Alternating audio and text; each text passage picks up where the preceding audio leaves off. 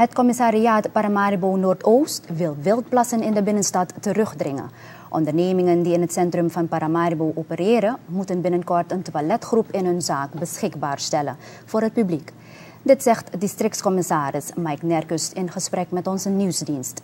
De burgervader zal dit vraagstuk spoedig bespreken met de districtsraad van Paramaribo en het ministerie van Handel en Industrie. Ik vind dat het moet kunnen en ik denk dat velen met mij de mening zullen delen. Dat het moet kunnen dat er overal, toch, alle winkelzaken, alle restaurants, alle eetgelegenheden, toch, alle klerenzaken, alle supermarkets, toch, alles, allemaal moet dat toiletten ook hebben. Toch? Moeten. Ja, vind ik en het moet zo komen, ja. Toch? Er is, er is, er is nergens op een toilet, toch? Moet de overheid iedere keer daarvoor doen, toch? Het kan, toch? Maar in het buitenland is het zo. En overal ter wereld is het zo. China ook, Europa ook, Amerika ook. Toch? En we kijken allemaal naar die landen, toch? En waarom is Suriname niet? Zijn we zo apart? Nee, dus ik zeg, er moet nu gaan we het proces inzetten om ervoor te zorgen dat binnen een bepaalde periode elke zaak, heb je nou een klerenzaak, verkoop je nou kleren, verkoop je nou eten, verkoop je nou ijskasten, wasmachines, wat je ook verkoopt, toch? U gaat, als u, als uw winkelzaak een bepaalde grootte heeft van een bepaalde orde, gaat u een publieke toilet moeten hebben.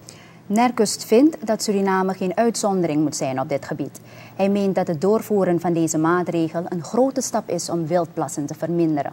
Behalve dit probleem is de veiligheid in Paramaribo ook een heet hangijzer, legt de burgervader verder uit. Volgens hem wordt in samenwerking met de politie een speciaal traject uitgezet om dit vraagstuk aan te pakken. We zijn begonnen met de minister van om bepaalde randvoorwaarden in orde te maken, zodat we gaan kijken om de politie zichtbaarder te hebben.